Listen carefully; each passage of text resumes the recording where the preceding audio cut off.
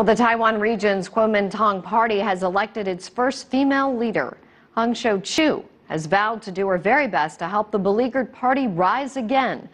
Kuomintang suffered a poor showing in January's general election on the island. It is known for its close ties with Beijing. As for the Kuomintang and Communist Parties Forum and the platforms for the two parties, I think they should continue because if we get to know the party across the street more, our government will have a better response and a better chance for our success in the future. President Xi Jinping congratulated Hung on her victory and said continued close ties are in the national interests. The new governing party, the Democratic Progressive Party, also named a woman, Tsai Ing-wen, as the region's first female leader.